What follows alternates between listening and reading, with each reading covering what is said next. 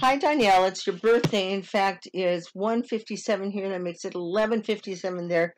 Three more minutes till your birthday's over. Anyway, I wrote you a song, but I just wrote it. I just It's really it. not a song yet because I've written the words, sort of, um, and I've written a tune, sort of. So here you are. I was there when you were first born. Boy, was I there when you were first born. I remember it well, 'cause you were such a huge pain in the butt. Yeah, I was there when you were first born. I was there when you spoke your first word. You were only five months old, you precocious little thing. And no one since has been able to get you to shut your mouth. I was there when you spoke your first word. I was there when you took your very first step. You quickly progressed into running, dancing, and swimming. And now you're chasing your own little brood. Seems like yesterday when you took your very first step. I want to be there for all you're going through. I want to be there and stop feeling so blue that we don't even live in the same state. I'm there for you, baby, for all you're going through.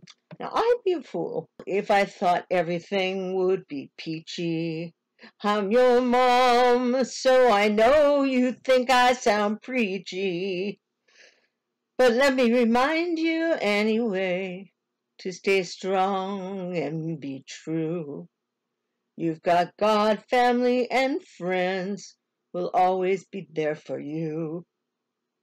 Well, just think I was there.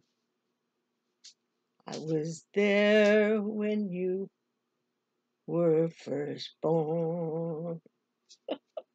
it's very rough. It's rougher than I thought. Anyway, um, happy birthday. I'm very, very, very proud of you. You're an amazing woman. You have always been the most creative person I ever knew. You still are. And smart smarter than just about anybody around. So I know.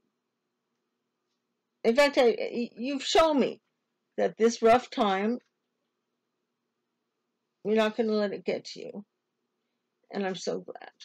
And I love you and I miss you. And mm, I don't know if I can get this on by midnight. Love you. Okay, and then I go. Stop. Oh, it's still going. Stop. Oh, and if that didn't quack you up, here's some ducks to do the job.